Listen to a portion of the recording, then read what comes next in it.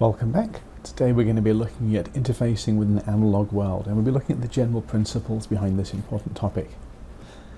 We'll see exactly how important analog is in a moment and then we'll look at how you represent analog values inside a digital system like a computer. That requires pulse code modulation. Getting values into a computer and out of a computer requires analog to digital conversion and digital to analog conversion respectively. So we'll look at that also as well as practicalities around this. The world is analog, it's important. Everything on the outside, what outside a computer is measured in analog units. For example, I've got loudness in decibels, temperature in degrees, 36.8 means that you probably don't have COVID-19 at that point. Speeds, pressure and so on. These are analog values, but the computer likes to represent things in digital values. Every computer you're going to use is digital. There are some analog ones that have existed in history but are not really used in today's world. So because the world is analog and computers are digital, we need to convert between the two and also how we need to think of how to represent the values in these different domains. Now if we're talking about a single value, temperature yesterday for example, then when we store that in a computer we need to think about two things about that value that are important. Um, one is the range, how big or how small it can be. And the other one is the precision that we want to store.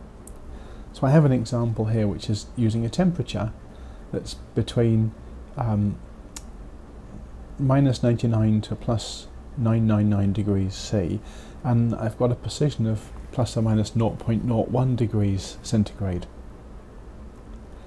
Now if I'd said you wanted to represent a temperature from minus 99 to plus 999 and you wanted it represented to the nearest degree, so the plus or minus would be one degree, then you could use a fixed point variable. You could count minus 99, minus 98, minus 97 and so on, and use a fixed point value. Because you're using a fractional value as the precision, it's probably better to use a floating point variable. The second example is the speed. I am actually counting, it's all positive, can't really have a negative speed. And the precision is one kilometre per hour. You could just use an 8-bit integer. An 8-bit integer in a um, unsigned format can count from 0, 1, 2, 3, 4, 5, 6, all the way up to 5, 1, 1. Plenty of range for the sort of speed that you're talking about here. So that's the designer, the person that designs the software to handle some real world value. That's what they need to think about. What's the range of the value and what's its precision?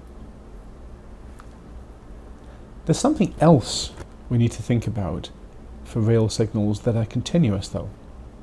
So continuous is something which is changing regularly. It could be the stock market indices, or it could be the air pressure that you're measuring in a weather sensor. Or in the example shown here, it could be blood glucose level. This is actually a real example that I've looked at. And in that example, you measure somebody's blood glucose. Um, it's part of one of the possible treatments for people who have diabetes. You measure the blood glucose level, and if the blood glucose level um, needs to be taken down, then you inject insulin. I'm not an expert on diabetes, but I've looked at the application here. Um, it just means that every now and again um, blood glucose is measured. In the old days there would be a syringe would go in and take out the, the blood. Uh, more modern systems have a finger prick and you just prick your finger, a little drop of blood comes up there and you could measure the glucose level. And if the glucose level is too high, inject insulin really modern techniques have an implanted, embedded sensor that can actually be um, connected to you almost permanently. You stick it on your skin and it measures your blood glucose and it can measure it very frequently. Now I've got two scenarios shown on this slide. First of all, what's actually happening in a patient is that their blood glucose level is varying over time. It varies in response to things like exercise and the amount you drink and the amount you eat and that glucose level is varying within ranges. Outside those ranges, it's too high or too low. It may be medically something that needs to be handled. Typically, you might want to sample that once a day, or twice a day, or four times a day, or maybe every two hours. And if you sample that every two hours, which is in this graph just here, we can see that the blood glucose level, every time it's sampled, is actually okay. Um, if a doctor was doing this, they would look at that patient and they would never see a reading that is a problem. But if they had a, a more, let's say, a more modern approach, or a better, um, faster method of sampling glucose, then they could sample every hour. And if they sampled every hour, we get more readings here, and we'll see that two of those readings indicate problems. So what's happening here is when you sample too slowly, the information you store is an incomplete picture. And you need to sample fast enough to suit the information that you are looking at. Um, a typical wearable diabetic monitoring system, such as the one used by ex-UK Prime Minister Theresa May, measures four times per hour. More modern systems can be implanted and they can measure every minute. So this is a real example. But it tells us about how the computer needs to sample values that are continuously changing. And you define that by a sample rate. And almost all systems that we are ever going to use, they sample uniformly. So they continuously sample at a fixed rate. That's how many times per second they sample. Some examples here, telephone speech. Telephone speech is typically sampled at 8 kilohertz. So the sample, the audio samples are sampled 8,000 times per second, and that's enough to pick up speech. It's not very good quality speech, but you can understand what somebody is saying. You might not recognize them very well from that though. If you're into higher quality music, it's the same thing, it's sound, but you need to sample much faster because some musical instruments have got very high frequencies. So typically CD quality music is sampled 44,100 times per second. And the two hourly measurements we were looking at previously is two every hour and there's 60 minutes and 60 seconds per hour so it works out to be 0.00014 hertz. It's a pretty slow sample rate. But for that application, it may be enough. So the sample rate depends on the application, and it needs to be frequent enough to capture the variations in the signal that's required for that application. Now, if you sample too frequently, you waste power, and when you store those values, you end up filling up your memory space. Your phone would get its memory filled up in no time. So if you sample too slowly, you miss important stuff. If you sample too quickly, you waste power and storage space. So how fast should you sample? Thankfully, we have somebody called Nyquist that answered that question for us. And he said that a continuous signal ought to be sampled from a waveform if you sample at least twice as fast as the highest frequency component in that signal that you want. Okay, so the way you think of it is like this. You say, okay, that signal, that thing we're measuring, what's the highest frequency component? What's the highest, fastest changing piece of information that we want? And you identify that, and then you make sure you sample at least twice as fast as that thing changes. So if your blood glu glucose measure, uh, measure could be peaking every minute, then you would make sure that you sample at least twice per minute. So if the highest frequency that you're interested in that signal is Fmax, then you need to sample at at least twice Fmax. You can sample a bit faster, or a lot faster if you want. And that means that you will accurately get all of that useful information from the signal when you sample it into the computer. Now just working backwards from that, if we know the Nyquist rate, what we have to sample at is twice the frequency of the highest uh, frequency component in the signal of interest. So the in the signal that you want to sample, the highest frequency component is something you identify and you must sample twice as fast. What does that tell us about the signals that are on the screen now? I talked about telephone speech. If we're sampling that at 8,000 times per second, 8 kilohertz, well, that tells us that the highest component in the signal that we're really interested in is 4 kilohertz. And that happens to be the highest, most squeakiest sound of a voice. On the other hand, CD audio is 44.1 kHz sample rate. It tells us that the highest frequency component that you can ever want in a CD audio is about 22 kHz. Um, maybe that doesn't really follow so much. I can't hear 22 kilohertz, but some people can. Uh, most adults of my age can hear up to about 15 kilohertz only. In the past, I worked on some earthquake sensors. They're measuring uh, the way the tectonic plates change and how the Earth shifts and moves.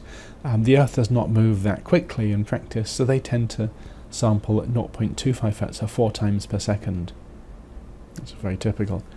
And if you're typing on a keyboard or you're, you're pressing buttons that's connected to a computer, um, typically that will be sampled about 100 times per second. And the reason is that your, your fingers cannot possibly move faster than that. I mean, the fastest you can be at typing. You cannot outrace a computer that's sampling 100 times per second.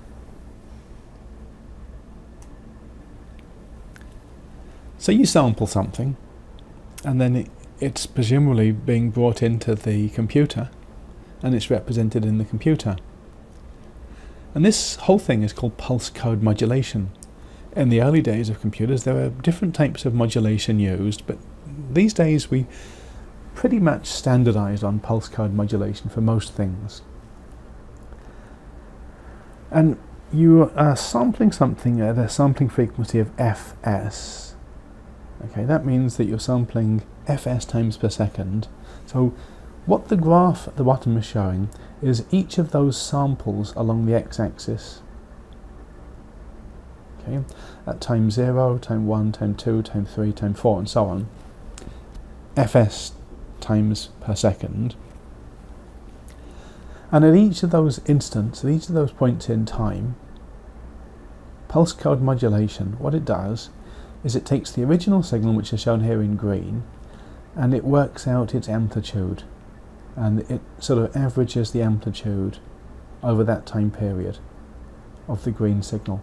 And then it represents that according to the coding on the y-axis.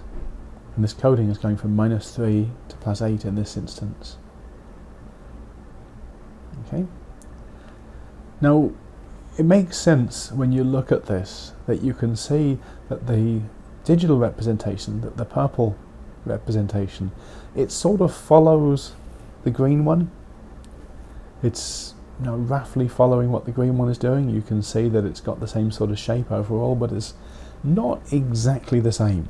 There's a bit of a error there, and that's um, called quantization error. We'll get to that in a moment. But on this graph, I want to show something about um, the effect of the y-axis on the quantization error. Now quantization is the number of discrete levels used to represent the amplitude of a signal. So there's three graphs here. Um, the one on the left has got 4-bit quantization, that's 16 levels. The one in the middle has got 3-bit quantization, that's 8 levels. And the one on the right has got 2-bit quantization, it's 4 levels. And that really says the number of steps on the y-axis that we try to force the analog signal into.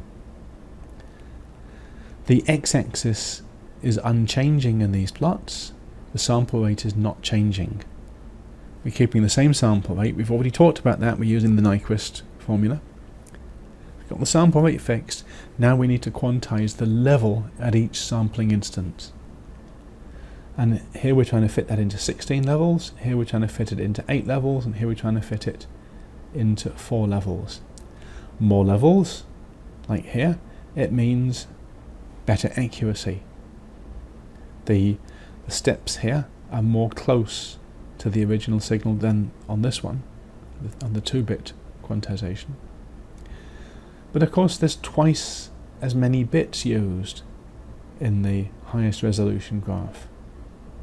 It takes more energy, more time and more storage space to sample with more bits. So it's another trade-off. So quantization defines how the value is stored in binary. A couple more examples, if you're using speech, like I mentioned, you might quantize each of those samples, remember sampled at 8 kilohertz, but you might quantize those with 8 bits or possibly 12 bits. And if you want the very best CD quality audio, you're sampling at 44.1 kilohertz, that will be sampled with 16 bits precision. So each sample, each sound sample will be quantized to 16 bits. We've shown this for continuous values, but remember quantization is necessary for just sampling a single value as well. It's what we started off with. Quantization defines the range and the precision. Now most microprocessors that you're using, doesn't matter if it's desktop PC or if it's your mobile phone or embedded system, they tend to start off with some analog data and they bring the analog data into the microprocessor and then they do something with it and output it. Um, a case in point is if you're talking on your phone, your voice is analog, it's being sampled, it's going into this phone, it's being transmitted wirelessly, and at the other end, that, that uh, digital sample now is being converted back to the analog domain for somebody to listen to. The actual conversion is done by an analog to digital converter at one end, or a digital to analog converter at the other end. My plot, or my graph that's shown here, it shows three different scenarios. The top scenario is your microprocessor is taking something analog, doing something to it in the digital domain and outputting something analog. It's very common. Sometimes, on the other hand, you would have a, a, process or you'd have a system that only takes analog values and doesn't output them again into the analog world. That could be something which is just recording or measuring values. On the other hand, we have scenarios where a microprocessor might be taking something internal and outputting it into the analog world. One example is if you have some music in an MP3 or something similar, you have a digital file stored on a device, it's all digital. The microprocessor takes that digital file, it processes it, and it uses a digital to analog converter to convert that to analog and a loudspeaker to output it for you to listen to. Um, there's a, a scenario missing here, and that's the scenario where there's no ADC or no DAC. But that doesn't really happen in practice because your microprocessor is pretty useless if it has no input and no output. So we talked about the microprocessor and storing the values. we talked about ADCs and DACs. The missing link here is the transducers, which are the things that convert a signal from some domain into the electrical domain. Okay, let me back up and just say that one more time. Your microprocessor deals with digital values. Your ADC converts analog voltages into digital values. The transducer converts a thing you're measuring into analog voltages. So for sound that might be a microphone or an ultrasonic transducer that takes some sound, converts that to electrical signals which you can then sample with an ADC. At the other end, your digital values going through a digital to analog converter will be, get transformed to a voltage which an output transducer could use to create an analog value. So an output transducer that deals with sound would probably be a loudspeaker or a buzzer or maybe something like this. And in vision terms, these would be LED and LDR or photodiode or camera sensor. But there's many other uh, measurement devices. There's a hundred thousand different transducers that can plug into embedded systems. They can measure pretty much anything you ever need to measure. Blood glucose is one. Temperature, pressure, speed, carbon dioxide, and many others. So we're not going to talk any more about transducers. It's outside of the domain of what we want to talk about, what we want to learn. But just know that they are there. They're an important part of this. So the actual analog to digital conversion itself uses a analog to digital converter with a width. We call it a width, and the width is the number of bits. So an n-bit analog to digital converter has a width of n, and it divides the input voltage into 2 to the power of n levels. So a 16-bit analog to digital converter, which is something that you'd use for audio, for music, that divides the input voltage into 2 to the power of 16 and 65536 levels. And the resolution of that is the step between levels. So if the voltage range is Vref, then the resolution is Vref divided by 2 to the power of n. And that's putting into mathematical formula what we saw a couple of pages ago with the 4-bit, 3-bit and 2-bit quantization. Now inside an ADC, as we've seen, there's actually two things happening. So it's good to just separate those in our mind. The first thing that's happening is that the input voltage is being sampled, a snapshot is taken of the current input voltage. And the second thing is happening is that that is then being quantized into a binary level. Um, there's a third thing which is not really part of the ADC aspect, but it's something that you need, and that is to get the value from the ADC into the CPU when asked. And uh, in typical terms, what would happen in reality is the CPU might ask an analog to digital converter to read a value. The analog digi to digital converter would say, okay, I'm reading a value. The CPU will go and do other things. The ADC will read a value, will sample and then quantize, and then it will wake up the CPU with an interrupt. Hey, I'm done. The CPU then needs to read that. So we'll get to that a little bit later. But first of all, here's an example of a 3-bit analog to digital converter. So with 3 bits, there's 2 to the n levels, is 8. And I've shown the 8 levels on the left-hand side in this plot. Okay? And on the x-axis, I'm I've plotted the um, the input voltage. So this is not time or anything. This is just looking at the input voltage. And the green line is the input value, the input voltage. And it says that when the input voltage is zero, then the digital output is zero, zero, zero. As the input voltage increases, at a certain point, the output changes to 001. As the input voltage continues to increase, the output voltage stays at 001. And then at another point, oh, I'm sorry, I clicked. At another point, the digital output becomes 010 and so on. So the digital output goes step, step, step, step as the input increases. And it means that any input in the voltage range between these divisions, or in fact any of the divisions on the graph, gives a fixed digital output. So if the voltage is, let's say this is 3.2 volts, or 3.3 volts, or 3.6 volts, or 3.8 volts, or 4.0 volts, then the digital output would be 1000. If the voltage became 6 volts, then the digital output might be 101. This is giving an idea of how it works. This is just a single sample.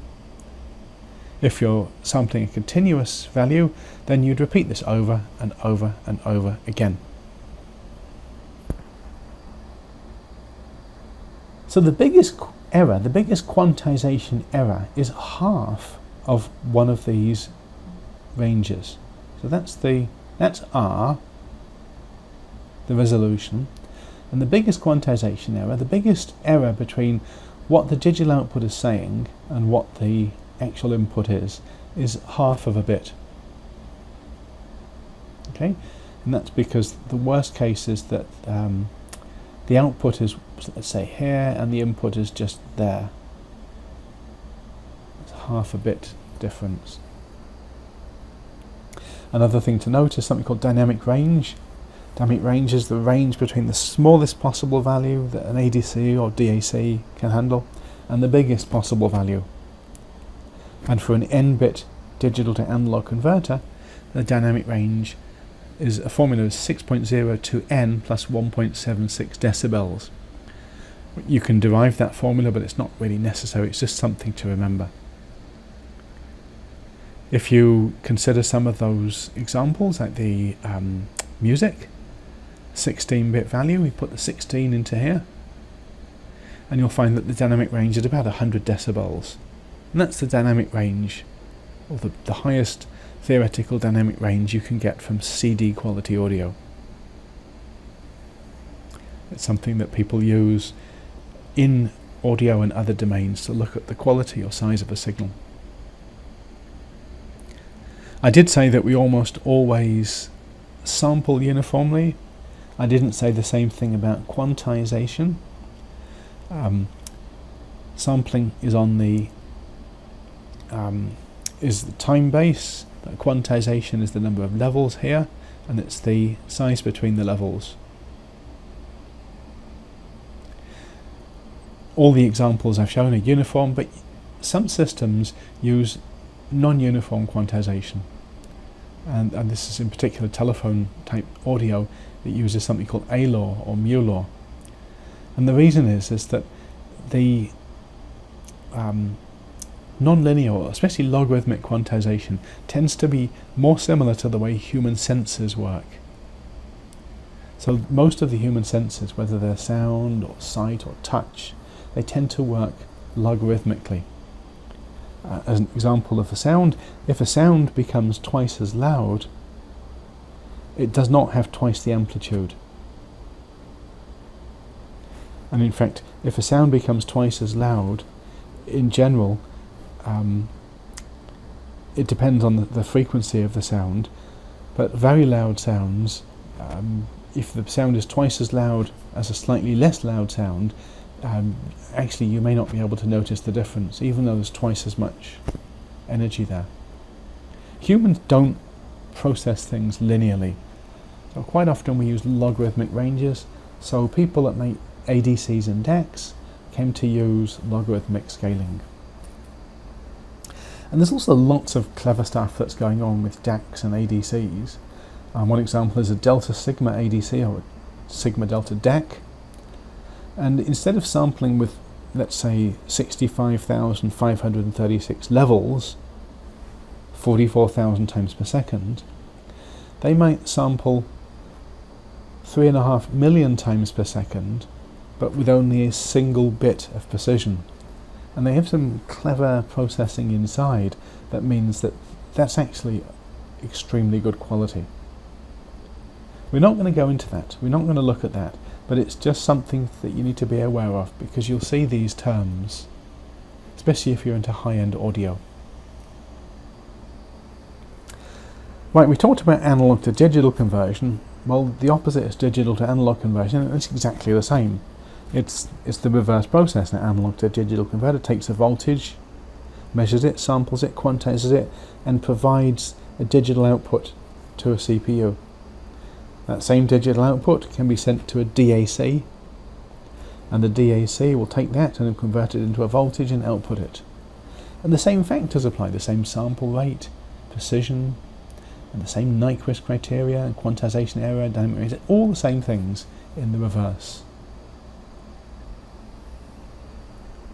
Now there's some practicalities here, some things to note. Um, the first thing to note is that I talked about VREF once through this, this lecture. Now VREF is the maximum voltage that the ADC or the DAC can handle. Um, if you're listening to a Zoom meeting and somebody is, is connected to that and you can hear them talking and it's so silent that you can't really hear them, they're very quiet. So if somebody's really quiet, it means that they haven't turned up the gain on their microphone. And that could mean that the VREF on their analog to digital converter is too high. So if the microphone signal is small and the VREF is very high, you won't be able to hear it. So you could turn the gain of the microphone up to make the signal higher, or you could keep the microphone signal the same and you could reduce the VREF level on the ADC so that the microphone now fills most of the most of the range of that ADC. So as a circuit designer you would fix the VREF. You can also have circuits where the lower voltage, I've got zero volts on here, and in all my examples I put zero volts, but actually you can have that set to a negative reference or a reference at some other voltage. So the circuit designer decides what's the voltage range that the ADC is going to operate at, and then within that range they divide it up by 2 to the n levels. So if you've got a 8-bit digital analog converter, you'd take those um, 512 levels, sorry, 256 levels, and that you would um, represent those across the range from 0 to VREF, or whatever the, the, the minimum and maximum is. Now if you fix that as a circuit designer and your signal gets too high or too low, it's clipped. And in, in audio terms, clipping would make a, a sound like that sort of sound. You can you can tell it. Um, if I shouted, you'd probably get some clipping, but it wouldn't be very pleasant for people. Okay. And I've also mentioned this about the sampling not being instantaneous. I said that the CPU would tell an ADC to go ahead and sample, it would then go off and do something else, and then when the ADC has finished sampling, it would interrupt the CPU and say, hey, I've just sampled. And if you're sampling only a few times per second, then the CPU can do very useful things in between waiting for different sample points. Nobody in a real system has the CPU polling an ADC. In a real system, eh, or at least if it's continuous sampling, a one-off maybe, but in a real system, it would all be done with interrupts. So that's covered the importance of analog, how we represent analog sig signals in a digital system. I said it's an analog world, but our computers are digital. So we need a method of representing them. We looked at sample rate, sampling, we looked at Nyquist, uh, the number of quantization levels, and we talked about PCM in particular because that's the thing that everybody uses. We looked at transducers, which are the bits that actually convert something you want to measure to a voltage, or a voltage to something you want to listen or see or hear or touch. And we talked about ADCs and DACs as getting data into a digital domain from the analog or out from a digital domain to analog. And then we looked at some practicalities that are related to this. And I think that it's fair to say that there's some standard ADCs and DACs out there, but most microprocessors, they have some built-in hardware that has some variation in how it's programmed. We've looked at the generic things, we looked at the general way it works, but there'll be some detail that we need to go into when we're actually using this in the real world.